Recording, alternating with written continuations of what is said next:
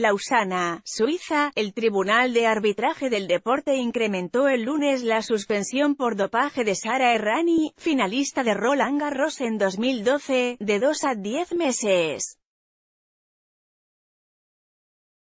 El TAS anunció sus decisiones a las apelaciones de Rani y la agencia antidopaje italiana, que solicitó un castigo de hasta dos años.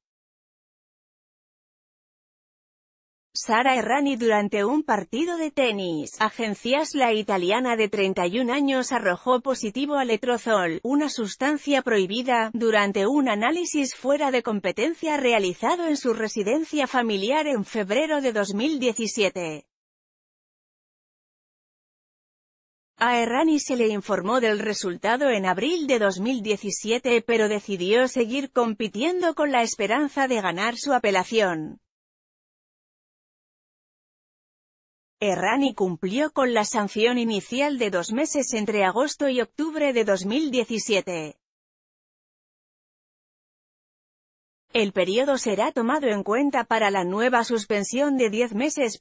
pic.twitter.com barra 8, 8 y 0 tía, Sara Errani, arroba Sara Errani, 11 de junio de 2018 El TAS determinó en febrero de 2017 que el letrozol provino de Los medicamentos que ingirió la madre de la tenista, que llegaron hasta los alimentos de la familia que preparó la madre de la deportista y consumidos por toda la familia.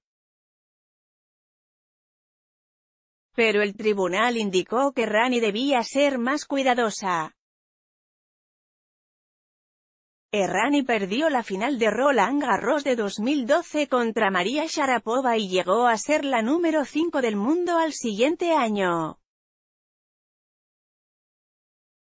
Errani también completó el Gran Slam en dobles haciendo mancuerna con Roberta Vinci.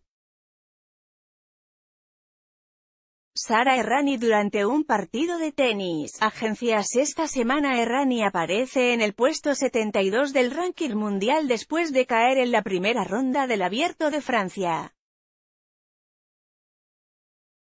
Esta nota incluye información de AP en esta nota, tenis TAS incremento sanción Sara Errani WTA.